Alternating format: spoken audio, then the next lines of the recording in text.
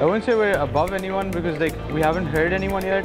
So it's pretty cool. I'm just excited, really tired, waiting कि like क्या I think competition I tough होगा